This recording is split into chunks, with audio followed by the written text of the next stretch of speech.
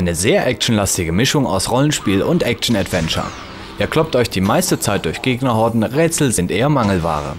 Das ist aber gar nicht so schlimm, da das Kampf und vor allem das Magiesystem sehr gut von der Hand gehen. Die Story von Fable ist sehr ordentlich und wird durch die Zwischensequenzen wunderbar erzählt. Wirklich hervorragend gelungen sind die spürbaren Unterschiede bei der Entwicklung eures Charakters, je nachdem, ob ihr gut oder böse seid. Das ist aber eher ein Stück Evolution statt eine Revolution. Denn auch in Knights of the Old Republic hat sich eure Figur äußerlich verändert.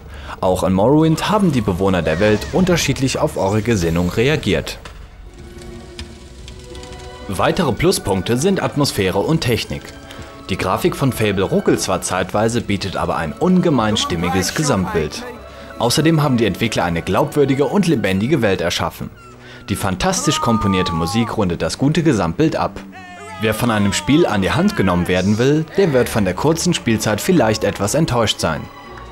Wer dagegen erforschen und ausprobieren möchte, der wird an Fable viele weitere Stunden seine Freude haben. So Leute, ich hoffe der interaktive Test hat euch gefallen.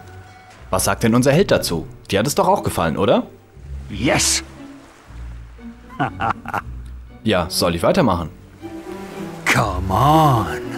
Oh, ähm, besser nicht. Also, noch viel Spaß mit dem Rest der DVD und dem Fable-Test im Heft.